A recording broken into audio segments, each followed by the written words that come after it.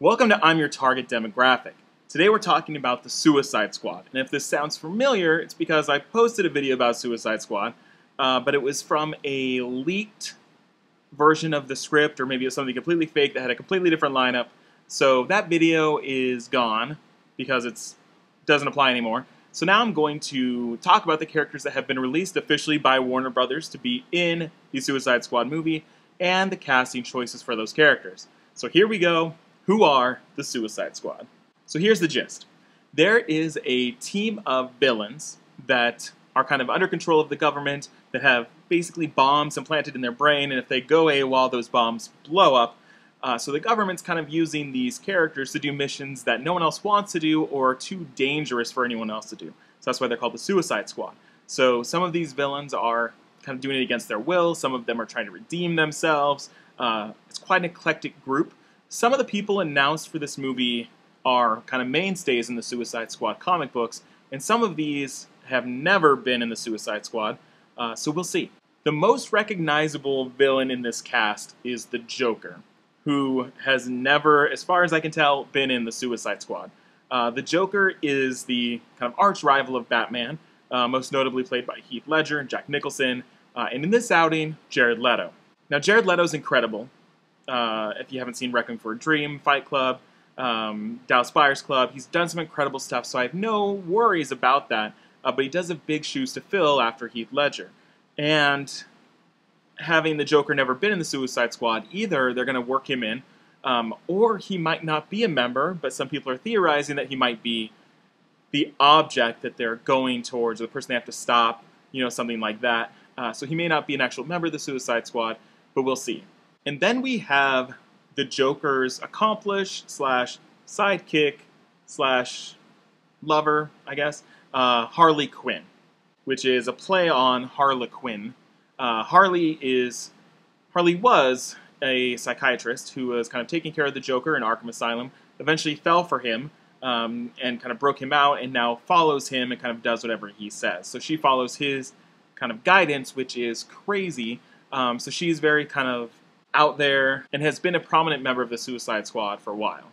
And in this movie, she's going to be played by Margot Robbie from Wolf of Wall Street. Uh, so we'll see how she does.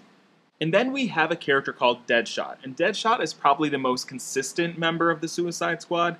Um, he's been in a lot of different iterations. Um, he is sometimes the leader, he's kind of taken that role. Deadshot is basically um, growing up. Uh, he there was an accident where he killed someone that he wasn't supposed to kill, so he trained so that he never misses a shot again. Um, and so that's kind of his thing is that he never misses. So he's incredible with guns. He's kind of known for like uh, sniper rifles, things like that. He's very talented. And now he kind of has a second chance at being a hero through the Suicide Squad. Uh, and in our film, he's going to be played by Will Smith, which is interesting. Um, but you might also recognize Deadshot from uh, some recent episodes of Arrow. He's done a few that actually feature the Suicide Squad, and he's been in those. And next we have a pretty obscure villain uh, by the name of Enchantress. Uh, there is also an Enchantress in Marvel Comics, but that's not what this is, but they are very similar. They're both kind of magic wielding, very powerful women. The DC version of Enchantress is basically a woman who can tap into magic, but every time she does so, it kind of might take over her. So there's kind of this alter ego that when she uses too much or when she crosses some line, she kind of turns into this evil incarnation of magic. Um, and so she is somewhat, in some of the Suicide Squad storylines, serves with them willingly so that if something were to happen, they can take her out before things get too bad. So she's kind of there um, so that they can watch her. Um, and Deadshot is actually assigned to take her out if things get too far. So I don't know how much of this magic component is going to be in the movie. Um, it depends on how much these DC movies decide to go that route. I don't know.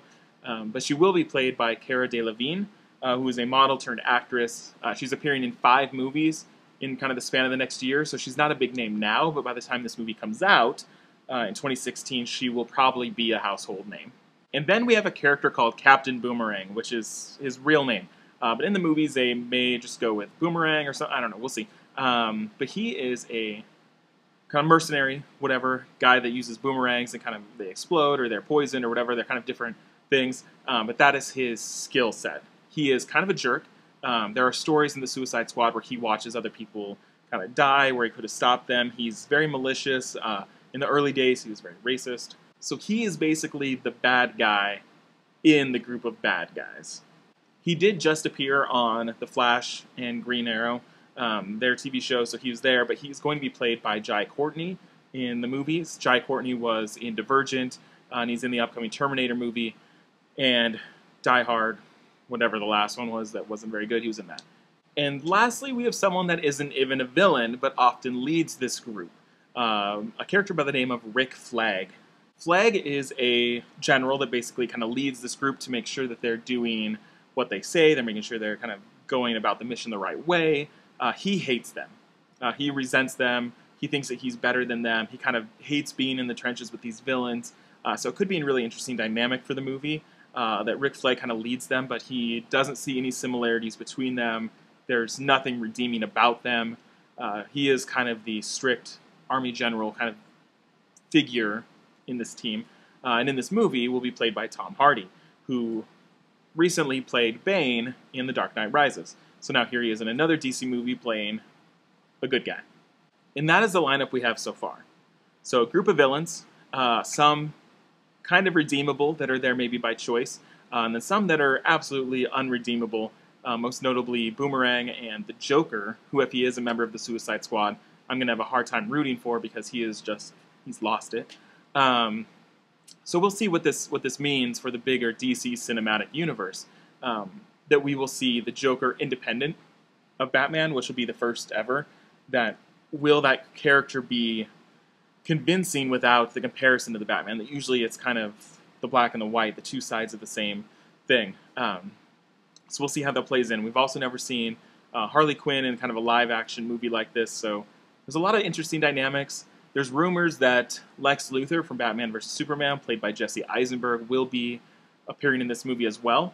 Maybe he is the one that sends them on some mission. You know, he pays them. Who knows? Um, there is still, you know, two years before this movie comes out, but that is who the team is. That's who's playing them.